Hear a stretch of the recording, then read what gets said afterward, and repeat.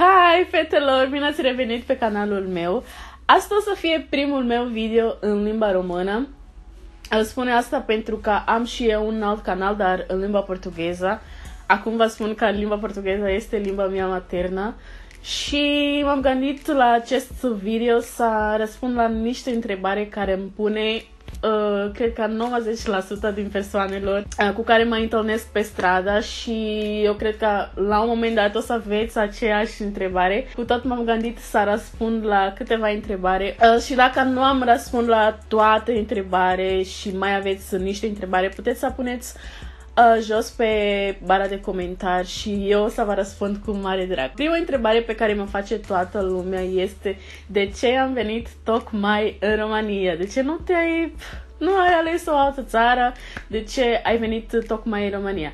Bine, eu am venit aici printr-o bursă, uh, eu am venit în România pentru stud. Momentan sunt la Universitatea Politehnică din București, una dintre cele mai grele facultate din lume.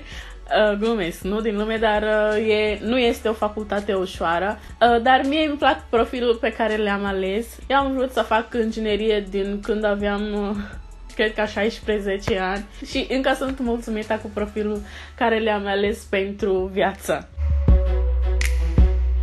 Uh, eu sunt aici de aproape 4 ani de zile, am venit aici în 2014. Știu că era la primăvara și din cauza asta spun, da, uh, am venit aici în luna martie 2014, probabil.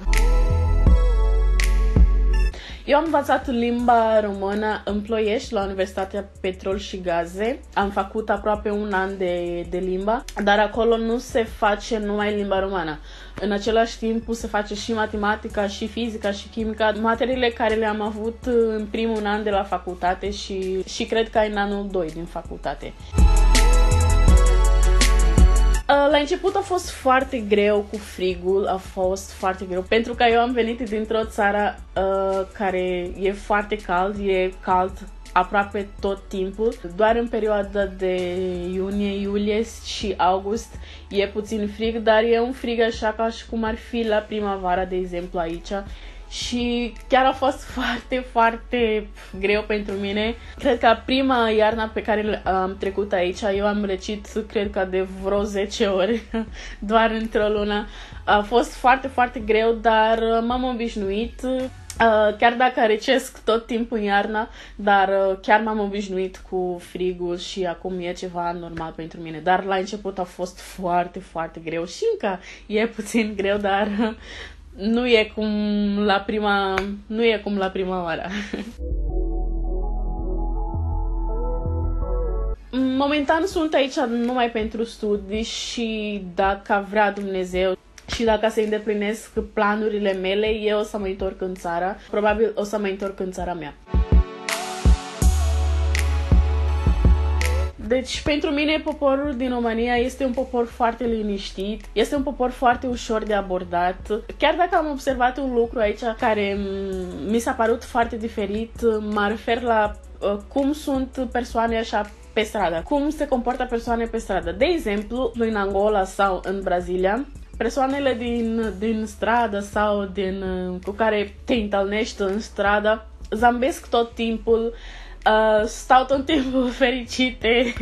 În Angola, de exemplu, e foarte ușor să, gă- să găsești o persoană uh, pe strada care dansează pur și simplu, dansează pur și simplu sau cântă, dar aici e cam diferit referitor la asta. Uh, persoanele din România sunt uh, persoane așa, parerea mea spun încă o dată, sunt persoane așa mai rezervate, adică mai liniștite referitor la asta, dar uh, în general mie îmi plac.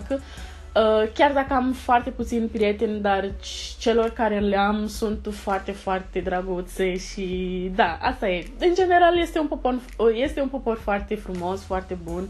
Aveți o cultură așa foarte bogată care îmi doresc să cunosc din ce în ce mai mult. Mâncarea din România este o mâncare foarte bună. Uh, mie mi plac foarte mult sarmale. Uh, eu cred că e mâncarea mea preferată din aici, din România. Uh, din păcate nu știu să gătesc. Din păcate nu am avut o bunică sau o mamă care a putut să mă învețe. Să pregătesc sarmale, dar uh, și când mi-e pofta de, de sarmale, uh, mă duc la un restaurant unde se poate afla mâncarea din România. Apropo, am fost uh, în Sinaia, cred că, cred că acum 3 luni și am aflat acolo un restaurant foarte, foarte frumos, uh, cu o structură așa medieval și unde, unde se găsește numai mâncarea din România și mi-a plăcut foarte, foarte mult. Eu cred că Sinaia este orașul meu preferat. Am mai fost la alte orașe. Am fost în Brașov, am fost în Ploiești, am locuit în Ploiești, de fapt, uh, cred că aproape un an. Am, am fost în Moldova, nu Republica Moldova, dar Moldova, cea din România. Am fost în Târgoviște, am fost, uh, am spus, am spus deja Sinaia, cred că am spus deja Sinaia, da, am fost în Sibiu, dar uh, Sinaia este orașul meu preferat pentru că eu cred că uh, eu am o idee așa de Sinaia, că este un oraș Tumblr, adică uh, este un oraș care poți face pozele foarte frumoase și chiar vreau să mă întorc acolo pentru că nu am avut ocazie, nu am avut oportunitate, de exemplu, să merg în um, nu știu cum se spune, dar eu cred că o să pun aici o imagine.